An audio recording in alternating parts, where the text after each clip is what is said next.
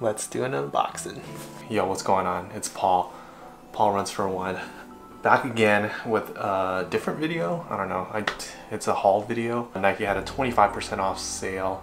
So yeah, I bought a bunch of stuff. Start with the smallest one. First item that I have, Nike boxer briefs.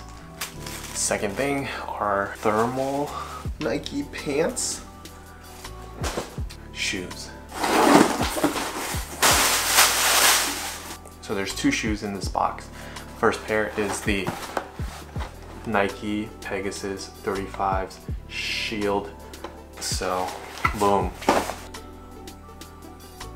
As you already know, I'm a big fan of the Nike Pegasus 35s. Look at these shields.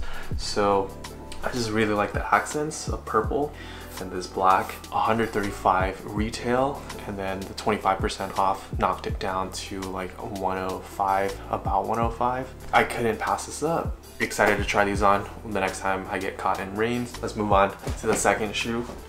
The second pair in this box is the Nike Vomero 14 boom. The burgundy ash colorway Yo, this looks freaking sick. There's some Vault Green as accents here. Yo, this is a pretty dope colorway.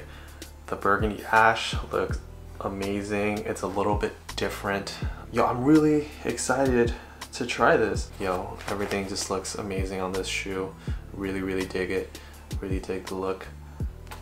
Cool, let's open the big box. Just do it tape. Cuts really easily. Oh snap, I forgot I bought these. These Aeroswift two-in-ones with the tights and the short length is four inches, I believe, in black. The next shoe is the Nike Moon Racers KOS. I just love this colorway so much. Just a casual pickup, not a running shoe the Nike Pegasus 35 Turbos.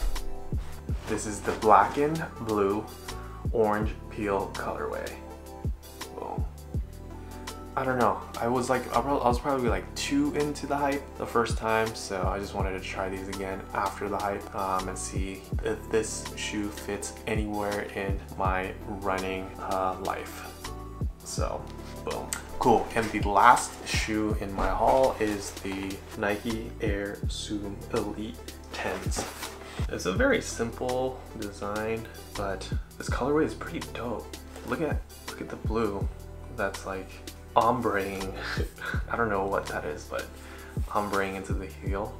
So I want to try these shoes because my friend Hart had these and he loves them. So definitely want to try the Nike Zoom Elite uh, 10s. So I'm excited to try these. I'm excited to see how this performs. Okay, yeah, that's it.